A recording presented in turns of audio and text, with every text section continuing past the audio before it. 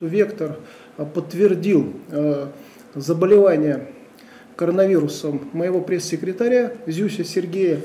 И вы видите, я на брифинг вышел из своего рабочего кабинета, так как в соответствии с установленной процедурой должен уйти на самоизоляцию. Соблюдать режим буду здесь, в пределах своей рабочей зоны, в кабинете. Ситуация под контролем, на рабочий режим не повлияет.